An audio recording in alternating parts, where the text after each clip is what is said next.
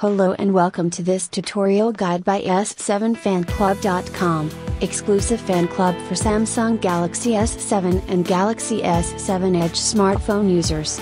Today we will learn how to gain root access on Samsung Galaxy S7 or Galaxy S7 Edge smartphone. Rooting is the process of gaining administrative level access on your Galaxy S7 or Galaxy S7 Edge.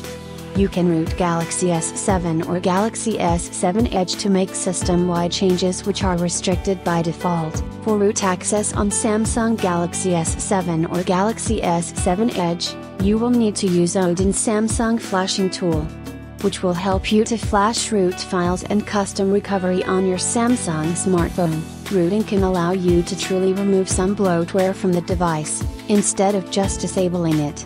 It'll free up memory, both of the RAM and storage variety, and that's just the beginning. If a custom recovery exists for your device, you can even flash newer versions of Android, remove TouchWiz entirely, and more, regardless of where you intend to end up in the rooting world. Gaining root access and getting that super user icon in your app drawer is the first step. Let's get started, shall we? Things to keep in mind before you get started.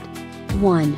At present, this only works on the international versions of the phones. SMG930F is the model for international Galaxy S7 while SMG935F is for international Galaxy S7 Edge. 2. This tutorial requires a Windows computer. 3. Please make sure to back up anything you are worried about losing before beginning. 4. Rooting the phone may disable two secure features, Samsung Knox and Samsung Pay. Follow the stepwise procedure to root your Samsung Galaxy S7 or S7 Edge smartphone, on our website s7fanclub.com. Link is given in the description below.